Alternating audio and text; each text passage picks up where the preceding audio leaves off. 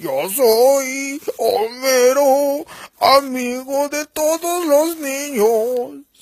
Yo digo versitos y canto canciones y doy consejitos.